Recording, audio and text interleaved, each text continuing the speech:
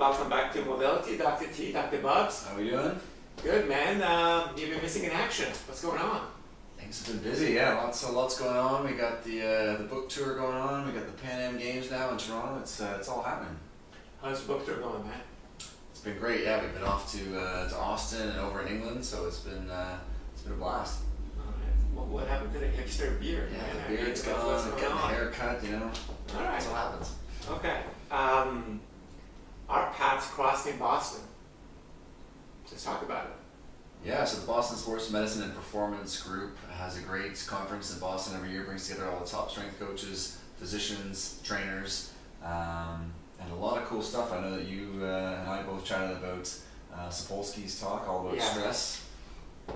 So, uh, Professor Sapolsky from Stanford, I mean, the guy's brilliant. So, uh, one of the key things that, that really resonated with me was the fact that he was talking about inflammation and in terms of athletic performance, that a lot of people who have an aggressive goal for themselves, and if they don't achieve it and they're still ruminating about it, they tend to have this, this markers a week or even like two weeks after the race was done. So to me, that's a, that's a really significant finding, right? You know, to be able to like, massive. I mean, it doesn't matter if it's team sport or individual sport, endurance sport. Once you've, you know, you can be disappointed if you didn't achieve Yeah. your, your PR there, but for a day. And then after that, you've got to really let it go because actually, Mhm. research shows you that it's really just not good for you, not good for your mind or your body or your performance. So, yeah. So um, now we got the Pan Am Games. That I think that is really interesting is the fact that most of the athletes, to some extent, they have some weakness in their lower extremities, and lower extremity weakness is a risk factor for low back pain. So absolutely, I'd say the only people who don't are those doing the Olympic lifting. true that. They are uh, they are all squared away. But let's see what what's the movement here all about. This is uh, Do you think, do you think there's going to be a study about a year from now that, that upper extremity weakness is going to be related to low back pain? No, I think it's pretty. I think I think we're in a good good place here. I think I think the glutes and the hamstrings and the posterior chain, and the low back are all kind of connected, and we've got to be picking up heavy things. That's how we evolved over millions of years, and then Yeah. you know the desk is uh, just not doing it for us. So walk us through what a deadlift looks like. All right, now, disclaimer, I don't do a lot of deadlifts, so, and one thing was, was, was, again, um, I'm not gonna really demonstrate this under heavy load, but, you know, Yeah, we're just gonna walk you through how you can do it at home. It's a fantastic movement, and again, you can think of this as movement rather than even training, you don't have to add load to it. We just want you to move better so that you can feel better, improve your health, and then if you do want to add load, it's really really great for you as well. and you know Um, what, we broke it down with the squat and the same thing with the deadlift, this is functional, this is useful, this is something you need basically throughout the day, right? Let's see it. Okay, all right, You start in a nice tall position here. You can see Mehran's got the bar right against his thighs. He's going to come all the way back up.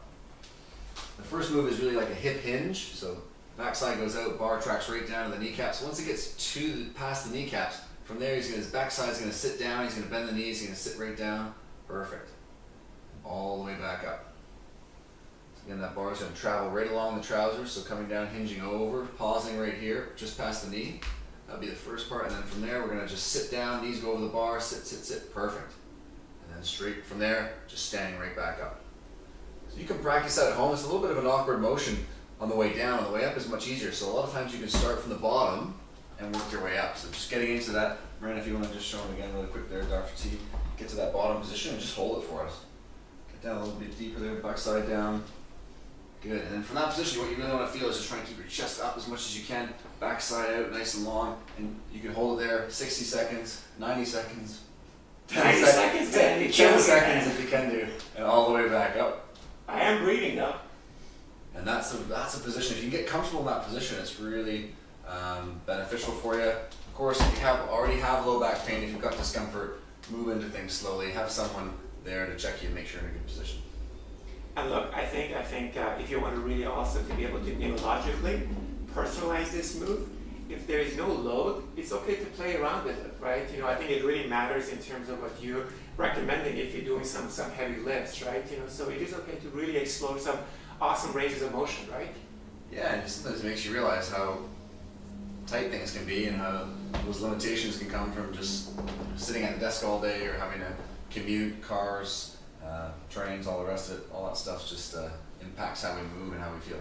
And please apply common sense, okay? If you have any injuries, be be smart about it. It's an awesome move, but it looks easy, but it's a very hard thing to be able to master, right? Definitely. So, okay. Anything else? That's your homework for this week. Any questions, shoot us a line at the uh, IHI Facebook page. And uh, hamstrings. Hamstrings. Next time. Next time, hamstrings. We'll talk a little bit about sprinting. All right.